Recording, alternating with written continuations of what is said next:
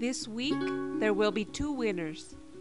Each winner will receive one Fimo fruit slice wheel. The winners will be announced this Sunday.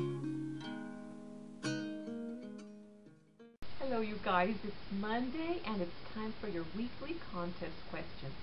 This week, I would like you guys to post and comment something you're really good at and something you're really bad at. And I'm going to start with the good. I'm not the best, but I really enjoy doing artwork. I've done um, artwork on canvases using acrylic paints, using oil paints, and another thing that I really enjoy doing is creating patterns. I've done needlepoint patterns and then completed the artwork. And I suppose I, what I enjoy doing a lot is doing projects that take me years to complete. I'm good at sticking to something and making it work. I'll show you guys some of my um, art pieces after the video. Now what I'm bad at. And I'm bad at a lot of things, but this is one that really stands out that I'm really, really bad at. I'm the world's worst cook.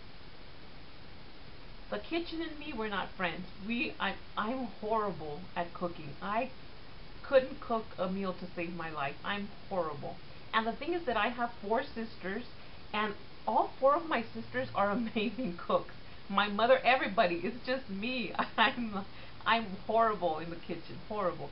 So now it's your turn to post and comment. What are you good at, and what are you bad at? I'll be posting the winners this Sunday. Have a great week, you guys. Take care. Bye.